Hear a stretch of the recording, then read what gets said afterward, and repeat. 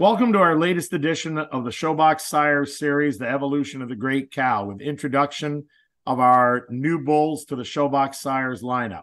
Today, we have got guests on to talk about our newest release at Select Sires, 744 HO 17425, Hellion. A bull that we're very excited about. And our guests today are two people behind this bull that have put a lot into the cow families and the breeding decisions to make this bull. So it's my pleasure to welcome, uh, first of all, Jeff King from King's Ransom Farm, who's involved with both the top and bottom side of this pedigree, and my partner, Mike Duckett from Showbox Sires, who again has been very instrumental in this mating and is going to talk a little about his thoughts on the on the mating. So we're going to kick this off. Uh, welcome, Mike and Jeff. We appreciate you being on. And Mike, I'll let you take it away. Uh, thanks for being on, Jeff. A couple years ago, you invested a lot of money in Doc 8784, you and your partners. What made you do this? We're glad you did, but what were, what were your thoughts when you did this? Well, honestly, uh, some of my friends would have uh, accused alcohol as to having a, a, big part, playing a big part into making me do that. But you know, honestly, there were a few reasons, and we we thought about it for quite a while. Uh, when I first saw Doc in person the year before as a second calver at World Dairy Expo, I was just blown away and to me she was the perfect young cow. We i love the pedigree love the cow herself. And the word on the street at the time was she's never going to be for sale. Fast forward a little ways when she did come up for public sale you know we considered the idea of a partnership and we really thought that the partners that were potentially going to be involved with you and julie and uh, tim and sharon and then my partners here in new york we really thought that that'd be an interesting partnership where everybody brought something to the table. So we like the idea of the partnership, but really the biggest reason for us to invest in Doc was, in my opinion, there are very few opportunities in, in your lifetime to really invest in one of the cows that's going to change the breed. We really felt it was that opportunity. and they they don't come along every day, and for us to have a chance to be involved in the development of not only her but her family and her legacy has just been a real pleasure. We're happy you guys came on board. And I do remember leading her out to the wash rack, and you and uh, your brothers and Kugler were uh, out there, and alcohol was involved. and we were washing her. And I think someone asked, uh, and I said, Oh, no, we'll never, ever sell her. Having a partner like Tim, he twisted on my arm until he talked me into it. But certainly, she is a cow that I feel that she is going to change the breed. Unfortunate she left us a little soon, but she left enough uh, offspring and stuff behind that I'm confident this cow is going to change the breed. Jeff, tell us about King's Ransom and what's going on there today, and then your partners. So our viewers, our listeners get a little bit of a view of who these guys are behind this cow. My family and I at King's Ransom, we're in Eastern New York and milk about 1,300 cows, all registered I farm here with my brother, his wife and kids, and and then my wife and kids are also involved. I've got uh, two sons that are out of college working with us on the dairy, and the rest of them are all college age at the at the moment. So we have a passion for developing great registered Holsteins, whether it's on the genomic side of the business or the the type and crossover side of the business. My partners here, we decided because of business structure that AOT Genetics would own the other piece of the of the cow and AOT is a partnership of Tom Kugler and my brother Dave King. Tom is a is is in the semen business in the eastern part of New York. He also owns hundreds of cattle and various types of partnerships all over and a real enthusiast of the Holstein breed. And then my brother is a dairy nutritionist. He also has his own farm, his own cattle. So they've partnered up on investment cattle over the years uh, and of course, the AOT prefix is very well known across a lot of different bulls in the industry and some of the great cows. We uh, both decided to throw our name into the hat when the partnership was put together. So, King's Ransom is an entity and also AOT. And Jeff, take two minutes. I just had a fantastic tour one morning with your brother Jan of the new King's Dairy facility, King Brothers Dairy just give our listeners i don't think a lot of people know that facet of your business and to me one of the most fascinating things we can do in this business is start to control our own destiny and king's ransom with your 1300 cows has invested in controlling your own destiny for the value of your product. Tell us a little about that because I think it's important. We've been working on this for a number of years. We now bottle our own uh, fluid milk product right on, the farm. We've built a, an on farm plant and then uh, have since expanded it here just in recent years. You know, our bottled milk is in about 75 grocery stores here in the region, and we're working with others outside of our local area as well. In addition to the bottled milk, our ice cream has become a popular item in the area. We've got a an on-farm ice cream parlor and a farm store. We're open year round with that ice cream, and and we're currently working to get some of our ice cream into the retail section of some supermarkets as well. And then finally, we co-pack some yogurt for another company. So any given week where there's quite a few gallons of milk that roll off the line, uh, a lot of three gallon tubs of ice cream, and a whole lot of five ounce cups of yogurt. It's been uh, it's it's a whole different business, but it's been interesting and exciting to kind of be involved with over the last uh, seven eight years. In our tour, Jeff, we were we marveled at the ingenuity you guys have used and the way you built your plant for efficiency uh, but practicality. And we had just an absolutely fantastic tour. And this is my promotion, and I'm predicting things will go crazy. But if you have not had King Brothers ice cream, you better find a way to get some. I think I had PBJ OMG or something like that, Jeff. And it was at about nine o'clock in the morning, and I could have eaten a gallon of it. So it was that yeah. good. Well, you had my favorite flavor, PBOMG, peanut butter. oh my god! So it's uh, that's one of my favorites. But we like to have fun with it along along the way. Yeah, your names are fantastic. You know, just a slight suggestion. I'd like you to start naming them after Showbox cows and bulls, but just throw that out at Becky because I know she's the wizard there. I think you'll get a you'll get a, a no go with that. Sorry. so, Mike, you're working with a lot of daughters of Doc 87, 84. Tell our listeners a little bit about what this cow's transmitting from a daughter's standpoint and what you're seeing. You know how many generations is our partnership down the line now mike? I guess we're we're already three mike and jeff. Mike tell them what you're seeing and what's coming out for numbers but also coming out of the real product.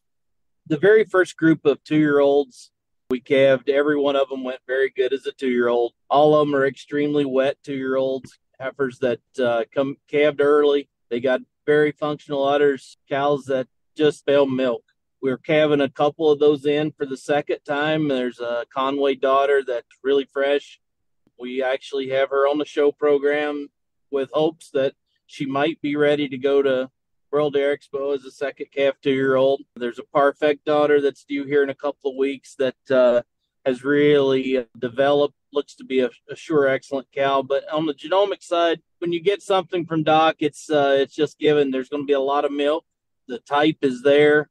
It doesn't matter if you use a sidekick or a high genomic milk bull that she's going to make milk. That's the one thing you can just count on uh, when you go to test her daughters and her sons. So far, uh, some of the typier matings coming yet, and those calves are uh, square framed, not overly tall, open dairy rib heifers that hopefully put on tremendous udders. And I think uh, down the road here, we're going to have a few show kind of cattle from Doc. Jeff, would you add your comments to the same question? You know, what what do you see? You watch great cow families and study them hard at King's Ransom. What do you see from the family? Well, I think Mike put it very well. Milk first and foremost. These are these are cows with great type, and they know how to milk. Uh, we're milking a couple of daughters a doc here in our herd, and I've seen a number more and some other herds. I just like the square frames. They are consistently not the tallest cows, which I really enjoy. We milk 1,300 cows in a commercial environment, and they fit in our operation. A lot of width, a lot of depth, tremendous width to the rump. The udders are unquestioned. One of the other really neat things that I think Doc brings to the pedigree uh, in a lot of these matings is great fertility too. And so when you can combine great milk, nice fertility, and the type that the, that comes through the family again and again and again, it's so consistent in all the matings. You know, I think it's just a, she's special. There's no doubt about it. So with this bull that we're getting ready to release, Jeff, it's got cows and sires that you worked with on both the top and bottom side. how do you see these two cow families working together and what some of the ways you feel that these these two cow families can complement each other probably the cow that's caused the most commotion around our dairy here in, in, just recent years is a cow named Daze. She's got an interesting pedigree. She's a 94 point max scored third calver, sired by Clay Nook Casper. And her pedigree goes back, uh, it's an interesting blend of type sires and production sires. She's out of a, a 92 point Delta. Delta Destiny was recently nominated Global Cow of the Year. Next stand back's a 94 point Doorman and behind that a 94 point Dorsey, who actually was one of the very highest GTPI heifers when she was a young heifer in the entire breed. So we've kind of blended the sires back and forth, trying to bring, bring production and genomic ability in with some of the type that family's been known for. So Casper Daze herself, she's the dam of Dropbox, and she has been a tremendous transmitter, an incredibly dairy cow, as long as a train with a, a, super mm. long neck and dairy head on her, and a tremendous, tremendous udder. If I was gonna, if I was gonna change her, I'd give her a little bit more width, and I really think that the bull high jump sire of Dropbox has brought that. We, are milking a number of high jumps in our herd, and for me, it uh, it was a tremendously complementary mating, and we're seeing that in the Dropbox calves. Where uh, I consistently regularly hear from people how much they enjoy the Dropbox calves. That they they're winning some shows, but I really think at the end of the day, he's going to make cows. He's going to make them square, correct, uh, not the tallest cattle. And I think we're really going to like the udders on them, and, and we're going to like them when they calve in as cows. You know, I've got a lot of confidence in Dropbox. I think the mating of Dropbox on on uh, Doc is kind of a home run. We've seen a number of sisters, full sisters. I've I've got some here at my dairy, and I've seen some that are living at your your farm, Mike. Uh, what a group of calves! What a special, special group of calves. And I think uh, when you look at the proof on Hellion, it almost ex- exactly describes those calves that we see. Tremendous balance, tremendous width, great dairy, open rib, really square cut calves, and and you just see that in the in the proof of Hellions to me, the two cow families crossed together just scream complementary all the way through. I agree with you more. I remember seeing a Facebook post one time, and it was uh, in her work clothes photo that uh, CMEX guys had taken of Daze. I think that's what got me and uh, Tim churning to to work with you with Daze. What two cows that the breed's seen that can combine the type, the genomics, the production, and do it so easily than Doc and, and Daze, and uh, it, it just makes a, a perfect combination in my eyes. I have to laugh. Mike saw the picture on Facebook of her in her working clothes, and he had Sharon and I take the drive to Eastern New York to look at the cow. And Jeff, it wasn't nearly as fun as the day you guys were having a drink at the wash rack. It was so cold you couldn't see the cow because you couldn't see through your breath. And there stood this cow. And Mike, when I called you about the cow, and I said she, it was almost like she was in a different county with the length of body. I've never seen a longer neck, longer bodied cow in my life with a with a picture perfect udder in her working clothes. And at that point, funny, Mike, you know, Jeff said the day he asked you about Doc never being for sale, he kind of told me the same thing about Daze. And you know what? He stuck true to his word because we've tried several times. But you and I began our love affair with Daze that day. Uh, and you've seen her several times, Mike, since, and and you feel the same way. When you talk about crossover cows, Daze and Doc have to get right to the top of the pile uh, pretty quick two great cows coming together to make a great bull. So I've referenced with both of you, and I want to ask both of you this question. You know, you've seen the numbers on Hellion. He's just released from Select Sires. We've got people wanting to use him as a mating sire. Mike, give me two or three traits that really stick out to you about the bull. The one thing that uh, you can just bank on, and the cow, this bull's fifteen hundred and some of milk, and and over three and a quarter a type, he's going to take that roll back next year and still be a great milk bull. And he's going to be a great milk bull with lots of type. And when you look at his linears, exactly what you're looking for is the right rumps, the, the right teat size, and just tremendous udders and A2, A2, all the right things in this bull. And he will take this rollback that, that everyone's talking about. and still be a great bull uh, next year. I'm pretty excited about him. I I want to use him in my herd. Uh, the bull's going to offer a lot of things to breeders around the world. And Jeff, not real fair to you because I let Mike take all the steam. But when you dig into the bull's proof and his linear data, are there a couple things you'd give our listeners as tidbits of the way to use this bull? a couple of the things that I like, Tim. He's uh, they're coded as being tall, but they're not extreme, extreme tall like some of these really high type bulls. And I, for me, that's important in my matings. I think we've got to we've got to slow some of that. And I I think that when I think about the mating and I look at the linears, I see the same thing in the linears as I would imagine when that mating was made. So a little bit more balanced in the frame, really strong numbers for dairy form and strength to combine with that stature. So that's what I really like. Really super wide rear udders. Uh, I think he's over four on rear udder width, and that's no surprise with the mating that's there. So I think he's a bull that can be used across the board. And in fact, it's ironic we're doing this today our partner, Tom Kugler, he also sells semen. He was in my dooryard this morning and we were going through the fact that he had some Hellion semen available. He's going to get used in my IVF program right away. Well, that's exciting. And Jeff, I want to follow up with a question. You referenced crossover bulls. To you, what does a crossover cow or a crossover bull mean? So our listeners maybe know what thinking is. And Jeff, I'm going to interject. Mike and I just did a podcast with the boys from Comestar Holsteins. The the conversation about crisscrossing bulls, type bulls, production bulls, index bulls, cow family bulls, all for the past 12 decades came into their discussion just like it did yours. Tell us your vision of crossover. We are commercial dairymen first and foremost. There are no box pens at King's Ransom. Every cow, uh, we've had some 95 point cows. They live right straight in the freestall we've got to have cattle that compete and that perform day in and day out. So I really enjoy great type cows, but at the same token, I need my cows to be able to produce and also for me have the health traits, the management traits that allows them to have a long life in my herd. That's going to be fertility traits.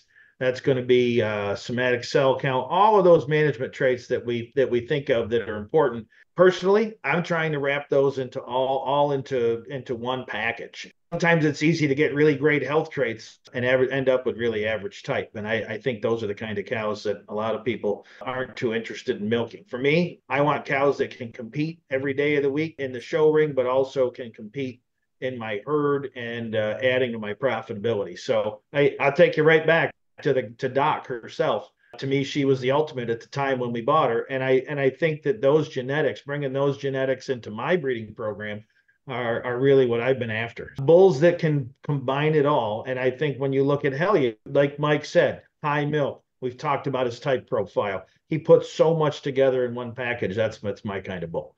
So he'll he'll receive a lot of use in my herd for sure well, and Jeff, I think King's Ransom would be considered the herd that has maybe shown more progress in this area than than any others. And there are other herds, but I saw pictures of you this weekend with white pants walking around backwards in a show ring.